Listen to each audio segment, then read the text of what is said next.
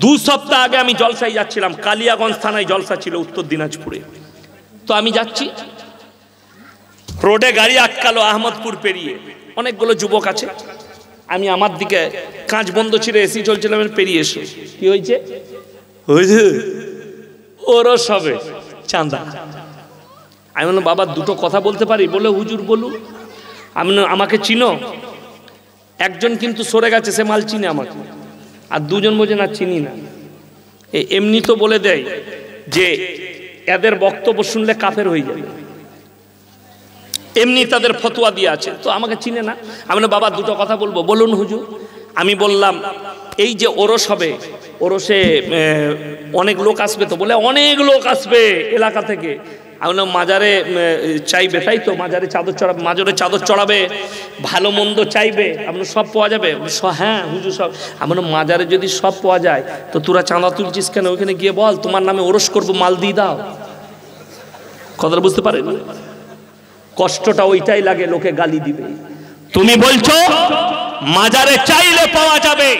গাছতলায় চাইলে পাওয়া যাবে, তাইলে বাবার নামে ওরস করার জন্য চাঁদা তুলতে হবে কেন? ওই বাবাকে বল যে, মাল দাও, তিন হাড়ি বিরিয়ানি করবে বাবা, টাকা দাও আর তোমার নামে ওরস করে চাদর চড়াবো তো বাবাই দিয়ে দিবে তো। কথাটা বুঝতে পারেননি? বড় কথা বোম্বেতে চলুন, আমি বোম্বেতে যাব। আমার ভাইরা ভাইয়ের বাড়ি আছে, আমি তার বাড়িতেই থাকব। বিরাট কারখানা। তো আমি বলেছি, ভাই, গরমের দিন হ্যাঁ তো আমি সমুদ্রের কিনারায় রাত কাটাবো। এগারো তারিখে এগারো তারিখে আমি থাকব ওখানে প্রোগ্রাম নাই। তো আমি বলছি, সমুদ্র কিনার কোথায়? হাজি আলীর কাছে। আমি সারা রাত কাটি যাই একদম ফজর পড়ে তারপরে আসি। সারা রাত ওখানে শুয়ে থাকে, ঘুম ধরে যাই, সমুদ্রের কিনারায় হাওয়া। সব পার্কের মতো করা আছে। তো ওই হাজি আলীতে বিএমডাব্লিউ মার্সিডিজ ওডি দামি দামি গাড়ি দাঁড়াচ্ছে, পাঁচ হাজার, দশ হাজারের চাদর চাপাচ্ছে। দিয়ে ঢুকি বলছে, চাদর চাপিয়ে, বাবা, হামকো লড়কা দে দো। বাবা আমার কারোবার বারকাত দো। সব বাবা দিচ্ছে, বাবার কাছে চাইছে। যখনই বেরিয়ে আসছে, দুদিকে লাইন দিয়ে ফকির বসে আছে, ভিখারি। তারা বলছে, আল্লাহকে নাম পে দে রে বাবা। তু চাইছিস মাজারে আর উ চাইছে তোর কাছে। উ জানে মাজারে মালটা পাওয়া যাবে না, তোর পকেটেই টাকাটা আছে। কথাটা বুঝতে পেরেছে না পারেননি? যদি মাজারে মাল পাওয়া যেত তুই তো ভেতরেই চাইলি তো তোর কাছে চাইবে কেন? অত সম্মান বেঁচে যেত?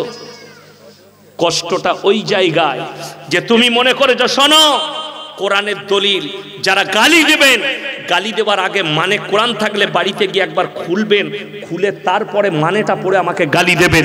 কোরআন সতেরো পারা। কত পারা বললাম?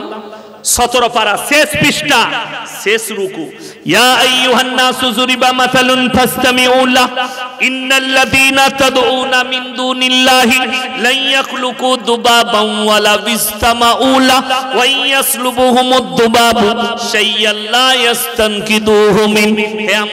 পৃথিবীর মানুষকে বলে দাও, তোমরা যাদের কাছে ভালো মন্দ চাও, তাদেরকে জিজ্ঞেস করো, তারা একটা মাছি পর্যন্ত সৃষ্টি করতে পারে না।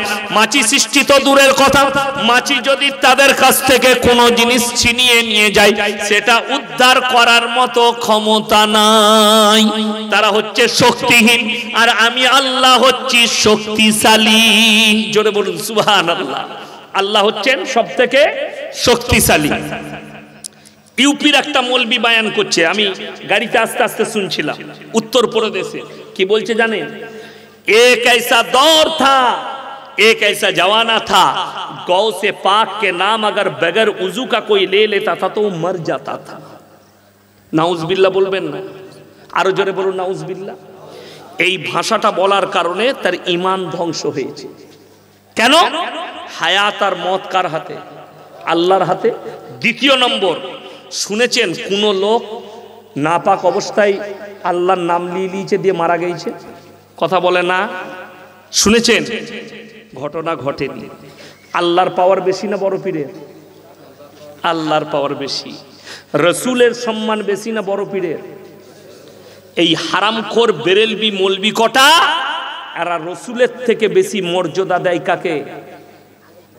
বড় পীর আব্দুল কাদের জিলানি রহমতুল্লাহ আলাইকে তোমরা মনে করো আমরা ভালোবাসি না? তোর থেকে বেশি ভালোবাসি, তাকে নবীর দরজা দিতে পারব না, মৃত্যু চলে এলে। আমার বুকে যদি গুলি চালাও, আল্লাহর কসম করে বলছি, গুলি খেতে রাজি আছি, কিন্তু রসুলের দরজা দেওয়া যাবে না।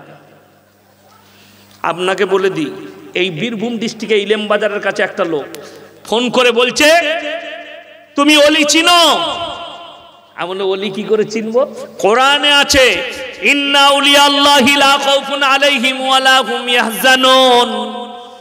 এই আয়াতের দ্বারা এই আমাদের দেশের বেরেলবি ভাইরা, সুন্নিরা মানুষকে ধোকা দিচ্ছে, প্রতারণা করছে। যে এই শব্দর মানে হচ্ছে অলি আউলিয়া আউলিয়া শব্দের অর্থ হচ্ছে বন্ধু, আল্লাহর বন্ধু। সেই বন্ধুটা আপনি সাধারণ মানুষ তাহাজ্জত গুজার আপনিও হতে পারেন, আমিও হতে পারি, যে কেউ হতে পারে। আল্লাহ কোরআনে বললেন, যারা আমার বন্ধু হবে তাদের দুনিয়া এবং আখিরাত কোনো জায়গায় কোনো ভয় নেই। জোরে বলুন সুবহান আল্লাহ সবাই আল্লাহর বন্ধু হব। সমাজকে ধোকা দেওয়া হচ্ছে, প্রতারণা করা হচ্ছে। এরা মানুষকে প্রতারণায় রেখেছে যাতে আমাদের বাজার চলে। আমাকে বলছে, আউলিয়া, চিনো। তুমি মাজারের বিরুদ্ধে বলছো? আমি বললাম, মক্কা থেকে মদিনা চারশো থেকে চারশো সত্তর কিলোমিটার রাস্তা। হাজি সাহেব কে কে আছেন? হাত তুলেন তো। হাজি সাহেব কে কে আছেন? হাত তুলেন। উমরা কে করে এসছেন? এক নম্বর। দুই নম্বর। আর কে আছেন? তিন নম্বর। উমরা গিয়েছেন, তাই তো? হজ করেছেন। মক্কা থেকে মদিনা চারশো সত্তর কিলোমিটার রাস্তা। কটা মাজার দেখেছেন? একটাও নেই। আর আমার বাড়ি থেকে আমি এই দিকে আসি না, আমি অনেক লম্বা সফর করেছি আড়াইটাই বেরিয়েছি। একবারই বোলপুর সাঁইতিয়া হয়ে এই বোলপুর হয়ে আপনার ওইটা কি নাম? সিউড়ি সিউড়ি হয়ে পাঁচামি গিয়েছিলাম আমার মাদ্রাসার একটা বিল্ডিং ড্যামেজ হয়ে গেছে, ভেঙে আবার বানাবো। ওই জন্য পাথরের কিছু আদায়, কিছু টাকা আদায় করলাম মাদ্রাসার জন্য। দিয়ে ওই দিক থেকে ঘুরে আসছি।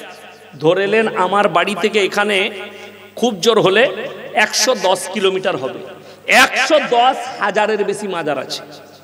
কথাটা বুঝতে পারেন আচ্ছা বলুন, পৃথিবীর যতগুলো অলি আছে হাজরতে আবু বাক্কার সিদ্দিক রাদি আল্লাহ তাল আনহুর সমতুল্য হতে পারবে? হাজরতে উমরের ইমানের সমান তাদের ইমান হবে। বড় কষ্ট লাগে। যারা, আমি তাকে বললাম, মক্কা মদিনায় অলি নাই? বলে না, অলি ওইখানে নাই। না, তোর পাথর চাবড়িতে আছে, আর তোর বীরভূমে আছে, আর মক্কা মদিনায় অলি নাই। আমি বললাম, শোনো আল্লাহ নবীর জলিলুল কাদার সাহাবিরা শুয়ে আছে নবীজি, চাচা যান। আপনারা দেখে এসছেন, আমি কিতাবে পড়েছি ওহুদের প্রান্তরে সত্তর জন সাহাবীর কবর ব্যারিকেড দিয়ে ঘেরা আছে লোহার। সেখানে একজন শুয়ে আছেন। নবীজি, চাচা যান আমিরে হামজা রাদি আল্লাহ তালু এত দামি দামি সাহাবি যারা দিনের জন্য, ইসলামের জন্য কোরবান হয়ে গেছে জান মালকে কোরবান করেছেন। তাদের কারু মাজার হলো না। আল্লাহ নবীর কবরে কটা চাদর চড়িয়েছিলেন? কথা বলে না। চাদর চড়ানো আছে? নাই। আল্লাহ নবীর কবরে চাদর চড়ানো জায়েজ নাই। আল্লাহর কসম খেয়ে বলে যাচ্ছে, পৃথিবীর আর কোনো মলবি মোল্লা পীর ফকিরের কবরে চাদর চড়ানো জায়েজ হতে পারে না। যদি কবরে চাদর চড়ানো জায়েজ হতো, তোমার পাথর চাবড়িতে ট্যানার চাদর চাপানো হয়। পাঁচশো টাকার কাপড়ের চাদর আল্লাহ রসুলের কবরে হিরেমতি মুক্ত চাদর টাঙানো হতো, ঠিক কিনা কথা বলেন? আল্লাহ নবীর কবরে জায়েজ নাই, পৃথিবীর আর কারু কবরের জন্য জায়েজ হতে পারে না। আল্লাহ নবীর কবরে সিজদা নেই, পৃথিবীর আর কারুর কবরের জন্য সিজদা চলবে না। আল্লাহ নবীর কবরে ভালো মন্দ চাইতে পাবে না।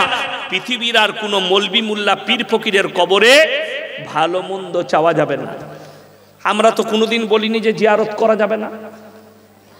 আপনি জিয়ারত করতে পারেন। আমি ইয়াসিন মারা গেছি, আপনি আমার বন্ধু। আপনি বর্ধমান গিয়েছেন কোনো কাজে? আমার গ্রামে গেলেন আমার মাদ্রাসায়। ও, ইয়াসিন সাহেবের কবরটা এখানে? একটু জিয়ারত করে নিলেন, কেউ নিষেধ করে না, কে বললে জিয়ারত করা যাবে না? জিয়ারত করুন! কিন্তু যদি বলেন ইয়াসিন সাহেবের কবরে কিছু পাওয়া যাবে, উপকার পাওয়া যাবে, তো আপনি ভ্রান্ত ধারণায় আছেন। আমি তখন ছোট ছেলে। কষ্টটা কি জানেন? ওই ছোট অবস্থায় আমি দেখতাম একটা তেঁতুল গাছ। আমার আব্বারাও ছোটবেলায় দেখেছে তেঁতুল গাছটা। আজও আছে। সব মেয়েরা বলতো এখানে বুড়ো পিঠ থাকে তেঁতুল গাছের তলায়। সেই তেঁতুল গাছের তলায় যে যাদেরই পরিবারে বিয়ে শাদী হতো, বিয়েতে খানা হয় না হয় না? খানা হয়? প্লেটে করে দামি দামি খাবারগুলো গাছের গুড়ায় দিয়ে আসতো পিস সাহেব খাবে। কিন্তু খেতকে কুকুরে। খেয়ে চলে যেত। আর এরা এসে বলতো পিস সাহেব শূন্য তাদাই করে খেয়ে যাম না পিস সাহেব। ওই পিস সাহেবটা খেয়েছে তো। কষ্টটা এটাই লাগে। মানুষ মারা গেলে খাবার কোনো যোগ্যতা থাকে? কথা বলে না।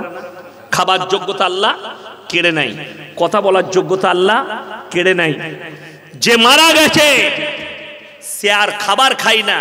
এরা বলে সিন্নি দিতে হয়। এরা বলে সেই মাজারে খাবার দিতে হয়।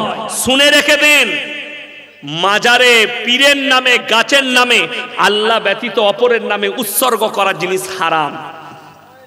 এটা মাথায় রাখবে বড় শিরকের পাপ। আপনি নিজেদিকে বাঁচান, নিজেদের পরিবারকে বাঁচান, এহলে বর্গকে বাঁচান।